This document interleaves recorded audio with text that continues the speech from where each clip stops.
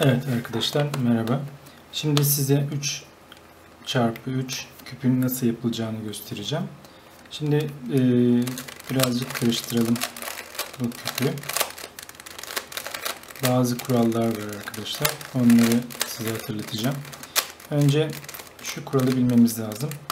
Şu ortadaki taşların rengi hiçbir zaman değişmez. Bunu bilmemiz gerekiyor. Yani buradaki mavi her zaman burada mavi olarak kalacak. Kırmızı, kırmızı bu burada kalacak. Yeşil yine aynı şekilde. Turuncu, beyaz ve sarı. Şimdi bunu bildikten sonra birinci kuralımız bu. Bilmemiz gereken şey buydu. İkinci kuralımız e, yani ilk başlarken yapmamız gereken şey e, bir tane bir renk seçip e, onu artı şeklinde almak ve artının devamında da şuradaki kalan devam yan sütundaki iki taşı da aynı renk devam etmek. Yani şurada diyelim ki yeşil.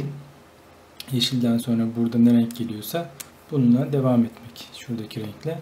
Şimdi ben yavaş yavaş göstereceğim size. Mesela bir tane renk seçelim. Şu beyazı seçelim. Beyaz. İlk önce yapacağımız şey şurada bir beyazdan artı işareti yapmak. Şimdi o yüzden yapmamız gereken şey yanında beyaz mavi beyaz olduğuna göre şu maviyi mavinin yanına koyuyoruz. Ee, ne oldu? Şimdi şu iki tarafı da yaptık aynı zamanda. Şimdi buradaki beyazları yapacağım. Nerede? Şurada bir tane beyaz var. Yanındaki yeşil. Onu böyle yap yapıyorum. Bakın bunu mavi şey beyazı yukarı getireceğim. Ee, yeşili şöyle yapıyorum. Buraya getiriyorum. Sonra yeşili yeşilin yanına getirip beyazı yukarı getiriyorum. Bunu birkaç defa da yaptıktan sonra siz de anlayacaksınız. Yavaş yavaş yapalım. Şimdi beyaz nerede var? Ortadaki beyaz yani şurası. Şurada. Yanındaki de kırmızı. İlk önce bunu alta getiriyorum. Bunu alta getiriyorum. En alta getirdikten sonra kırmızı olan taşın ortadaki kırmızı olan taşın yanına getiriyorum. Şimdi bunu getirdikten sonra şununla şunu yer değiştireceğim.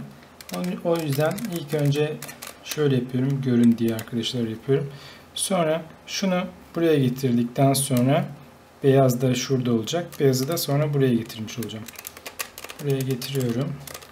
Beyaz, kırmızı. Sonra yine yukarı getirdik. Şu iki tarafı yapmış oldum. Bu sayede. Bir de şurada az önce mavi yapmıştım. Onu da tekrar düzelteyim. Şimdi sadece şurası kaldı. Şuradaki beyaz taş. O da nerede? Turuncu ve beyaz burada. Onu gördüm. Onu buraya getiriyorum. Turuncunun yanına getirdikten sonra beyazı da yukarı getirmiş oluyoruz. Ve bu şekilde artıyı yapmış olduk. Tabi artıyı yaparken dediğim gibi artının devamındaki iki taşında aynı renk olmasına dikkat ediyoruz. Birinci aşama bu. İkinci aşama ise şuradaki dört tane taşın beyazın yanında olan e, şu taşları yerlerine oturtmak. Şimdi bir tane beyaz bulacağız. Köşe beyazı tabii ki. Neresi? Burası. Beyaz yanında mavi ve kırmızı var. E, mavi ve kırmızı olan köşeye getiriyoruz. Bakın beyaz bu yukarıda yukarı gelecek mavi ve kırmızı alta getirdik. Şimdi bunu alıp buraya getirmiş olacağız. Getireceğiz. Nasıl yapacağız? Ee, aynı olan köşeyi bulduktan sonra pardon onu e, ya ters tarafa yani şu köşeyi aynı olduğunu inandıktan sonra yani burası kırmızı da gelebilirdi. Aynı olduktan sonra onu şuraya getiriyoruz. Şuraya getiriyoruz. Sonra e, hangi taşın yanına getireceksem yani buraya getireceğim ya onu aşağıya indiriyorum. Onu aşağıya getiriyorum. O az önceki buraya getirdiğim taşı tekrar yukarı getirip şimdi bunu buraya getireceğim. Getiriyoruz. Ve e, şuradaki az önceki taş buraya çıkmış oldu. Şimdi bunu birkaç defa daha anlattıktan sonra anlayacağız. Şimdi tekrar bir tane daha beyaz taş bulalım beyaz taş bulduk. Yanında hangi renk var? Yeşil ve turuncu. Doğru yerdeler. O yüzden kıpırdatmayacağım. Ee, hangi aynı işlemi tekrar yapacağım. Hangi taraf doğru denk geldi? Burası. Burası denk gelebilirdi. Yine aynı şekilde denk gelen rengin tar tersi istikametine yani buraya getireceğim ilk önce. Sonra bunu buraya getireceğim. Bunu buraya getirip tekrar bunu da yukarı getireceğim. Bakın aslında çok basit. 1 2 Bakın ne yapmış olacağım? Bunu buraya getireceğim. Bunu buraya getirmek için kaç hamle yapmam gerekiyor? Birincisi ters istikamet getiriyorum. Sonra yukarıdaki taşı aşağı indiriyorum. 2. Bunu geri getiriyorum. 3. Bunu tekrar buraya getiriyorum. 4. 4 algoritma, 4 aşamalı algoritmada buradaki taşı şuraya getirmiş oldum. Doğru bir şekilde. Şimdi bir tane daha beyaz bulalım arkadaşlar. Beyaz. Bu tarafında ne var? Mavi ve turuncu. Mavi ve turuncu olan yere getirdik. Bakın bu sefer e, ters taraftaki yani az önce iki defadır burası denk geliyordu. Şimdi burası denk geldi. Yani neydi şeyimiz kuralımız? E, aynı renklerin tam zıttı olan köşeye götürmek. Yani az önce buradaydı. Bu tarafa doğru getirmiştik. Şimdi buradaki maviler aynı olduğuna göre tam tersi istikamete yani buraya getireceğim. Sonra bunu buraya getireceğim. Yani 4 aşamada buraya bunu buraya getirmiş olacağım. Bunu buraya getirdim. Şunu şunu buraya getiriyorum. Ee, götürdüğüm taşı buraya getiriyorum. Ve bunu tekrar yukarı getirmiş oldum. Ve ne oldu? Şu taş da yerine geldi. Yukarıdaki artılar bozulmadı. Sadece şu taş kaldı. O taş da nerede? Onu bulalım. Hemen şurada. O taşı da e, alt köşeye getirmiş olduk şimdi. Şimdi buraya getirdikten sonra arkadaşlar yine aynı şekilde bu tarafa geldi. Denk geldi. Yeşiller isabet oldu. Şimdi tekrar yine aynı şekilde bunu buraya getirmek için ilk önce buraya getireceğim. Sonra bunu buraya getireceğim. Sonra bunu tekrar buraya getirip bunu tekrar buraya getireceğim. Yani 4 aşamada. 1 şunu buraya getireceğim. 2 buraya getireceğim. 3 ve 4. 4 aşamada e, buradaki taşı buraya getirmiş oldum. Şimdi ne oldu? Yukarıdaki beyazlar oluştu. E, yanındaki şunlar da artıyı yapmıştık ilk önce kenardakilerle birlikte. Sonra buraları yaptık. E, şu kısım olmuş oldu. Şimdi bunu ters çeviriyoruz arkadaşlar. Yani alttaki bozulmaması için bunu ters çevirdik. Şimdi yapacağımız şey ikinci katın köşeleri. Yani şu, şunlar. Şunlar. Alt taraf zaten olmuştu. Şu dört taraftaki köşeleri yapacağız. arkadaşlar burada iki tane algoritma var. Üç. Üçüncü aşama yani aslında bu, bu yedi aşamada e, Rubik küp nasıl yapılır? Basit yöntemiyle ben size gösteriyorum bu arada. Bir de 3A ve 3B aşamaları var arkadaşlar. O da bu. Şurada algoritmaları ben size yazdım. Şimdi bu algoritmalardan kısaca ben size bahsedeyim. Ee, şimdi arkadaşlar e, burada U harfi gördüğümüz U harfi İngilizce terimi olarak up yani U harfi olarak ifade ediyoruz. R harfi right yani sağ. U yukarısı sağ. R sağ. U yanında i varsa ya da herhangi bir harfin yanında i harfi varsa invert yani tersi ifade ediyor. E bunların hepsi e, U dediğimiz yani yukarısı saat yönüne ifade eder. R'de sağ harfi olduğuna sağ taraf saat yönüne bir hamle. U tersi yani üst tam tersi saat yönünün tersini ifade eder. F front yani ön önü ifade eder. Yani şöyle tuttuğumuz zaman şurası front F U up yani yukarısı e, üst e, R right yani sağ left burası da sol e, sol oluyor. Şimdi bunları ifade ettik. Şimdi burada şu şu ifade var. E, şuradakini şuradaki taşı buraya alma ya da buradaki taşı buraya alma. Şuradaki köşeleri yapacağız ya. Bir tane belirleyelim. Şimdi burada e, şu taş var mesela. Şu mavi ve kırmızı. Mavi kırmızıyı alıp buradaki taşı alıp buraya getireceğiz. Buradaki taşı alıp buraya getireceksek şurada şöyle bir ifade var. Şöyle. O zaman bu 3B'yi yapacağız.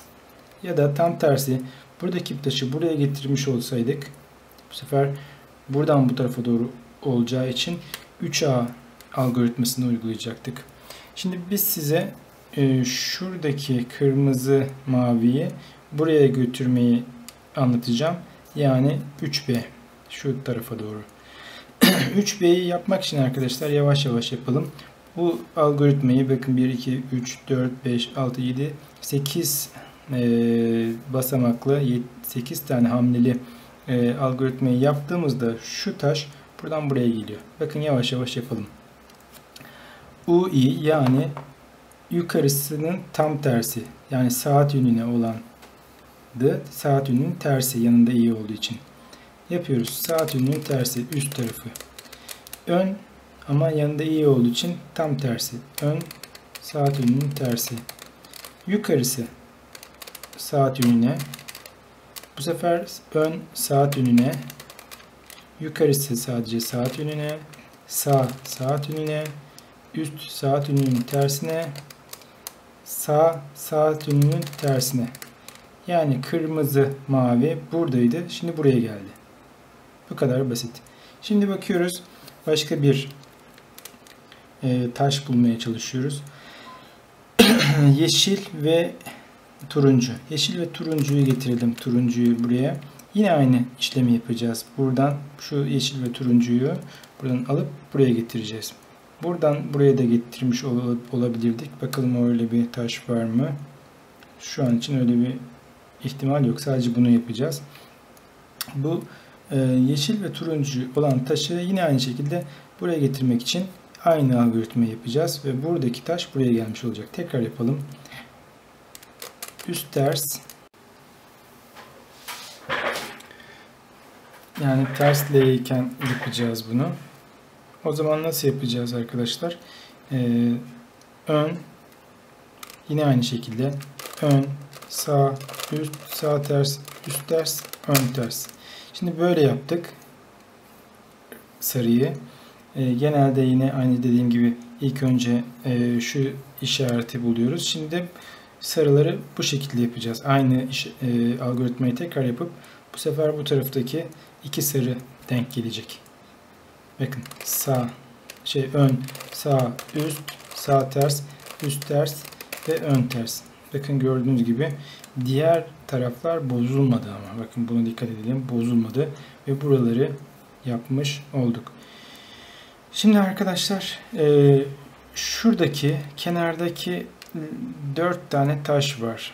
Onları doğru yerlerine oturtmamız lazım. Bu dördüncü algoritmayı da buradan ne yapıyoruz? Alıyoruz. Dördüncü algoritmayı da bitirdik. Şimdi beşinci algoritmayı yapacağız arkadaşlar. Beşinci algoritmayı yaparken ilk önce e, şuradaki taşlardan doğru iki tane taşı bulmamız gerekiyor. Bakalım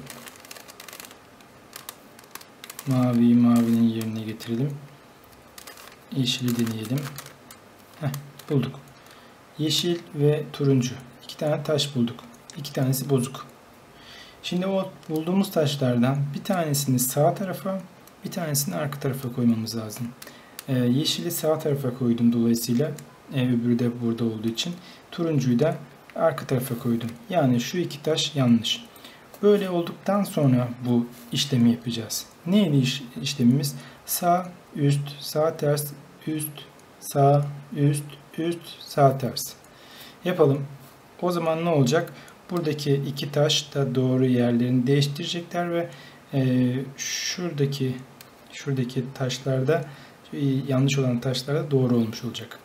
Yapalım beraber. Sağ, üst, sağ ters, üst, sağ, üst, üst, sağ ters. Bakalım. Bakın arkadaşlar burada yeşil doğru. Burası turuncu doğru. Burası mavi doğru. Ve burası kırmızı doğru. Ne oldu? Doğruları da bulduk. Şimdi yani eksik olan ne taşlar kaldı? Sadece şu, şu, şu ve şu. Yani 5. algoritmayı da yapmış olduk. Bunu da kaldırdık kenara. Şimdi 6. algoritma. Altıncı algoritmayı yapmak için arkadaşlar şunu yapacağız. İlk önce bir tane doğru bir tane köşe bulmuş olacağız. Doğru bir köşe. Ee, hangisi olduğu önemli. Bir tane. Bakın burada bir tane doğru köşe var. Doğru köşeyi bulduktan sonra işimiz kolay. Ha buradaki renkler yani doğru e, anlamda mesela sarı burada, turuncu şurada, yeşil başka bir yerde olabilirdi. Renkleri değişik. Yeter ki doğru yerde olduğunu bilelim. Yani şurada olduğunu bilelim. Bir tane doğru taş bulduk.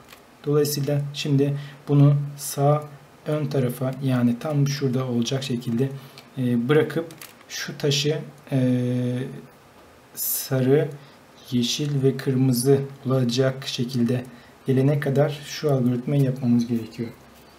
E, yerleri değişik olabilir ama burada olması gerekiyor o taşın. Bakın yapıyoruz. Tekrar şu algoritmayı söyleyelim. Üst, sağ, üst ters, sol ters, üst, e, sağ ters, üst ters, sol. Yapalım. Üst, sağ, sağ, üst ters, sol bu tarafaydı. Sol üst ter, sol ters böyle oluyor. Üst, sağ ters, üst ters ve sol. Bakın ilginç, çok ilginç. Normalde bu denk gelmez ama bu sefer e, hepsi denk geldi. Yani biz bu algoritmayı yaptık.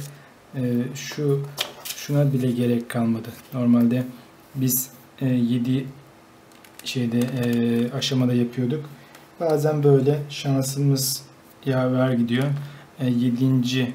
yani şu algoritma yapma gereği duymuyoruz. Bu kadar. Bugün de bizim şanslı günümüz.